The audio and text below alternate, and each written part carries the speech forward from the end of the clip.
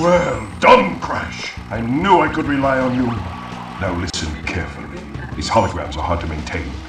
During the course of my intellectual pursuits, I have stumbled across a force that threatens to destroy the world. Crystals are the only means of containing it. The fate of the world is at stake. It is imperative, therefore, that you bring them to me.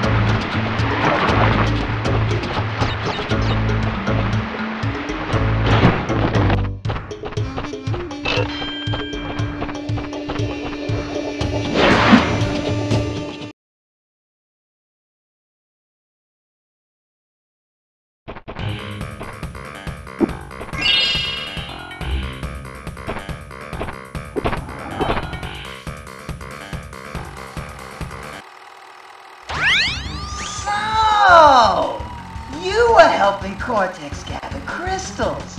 Yet you have acquired a gem. Interesting.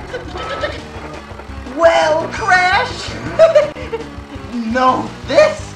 As long as you are allied with Cortex, you are my sworn enemy, and I will do anything in my power to, to, to stop you. if the fate of the world is truly your concern, you must gather the gems, not the crystals.